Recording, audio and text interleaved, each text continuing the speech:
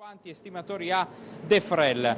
Si parlava di difensori, prima ennesimo innesto per rinforzare il pacchetto arretrato per il Carpi che dopo Bubnic dall'Udinese ottiene anche il sì e la firma di Spolli che ha giocato tanti anni in Italia con la maglia del Catania, l'anno scorso si è diviso tra Serie B con Lietnei la prima parte, la seconda parte di stagione a Roma dove però il campo lo ha visto poco, è un innesto di qualità e di esperienza per il Carpi.